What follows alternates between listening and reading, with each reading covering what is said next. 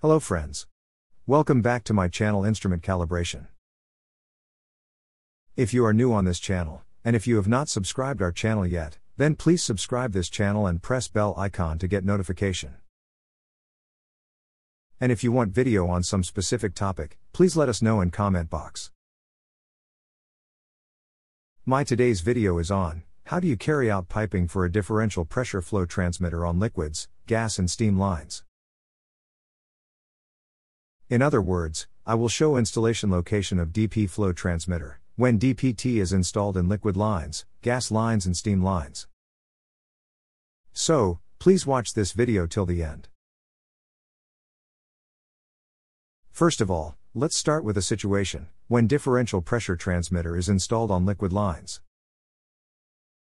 As you can see from the diagram that, for liquid lines, DP transmitter should be installed below the orifice plate.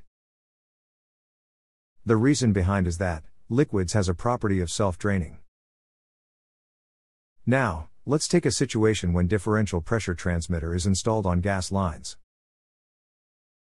As you can see from diagram, for the gas lines, DP transmitter should be installed above the orifice plate.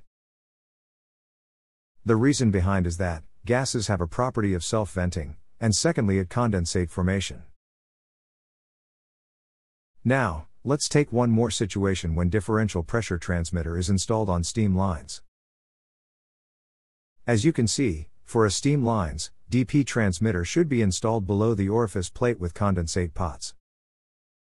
And both the pots should be installed at same level. Thank you friends for watching this video. I hope you like this video.